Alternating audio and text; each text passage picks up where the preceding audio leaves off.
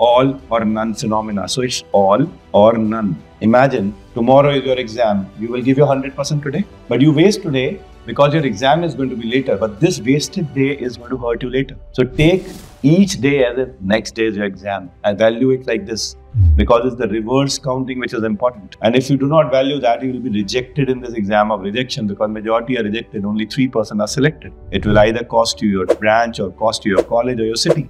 It's so important, isn't it? Why do you wish to live for a second chance?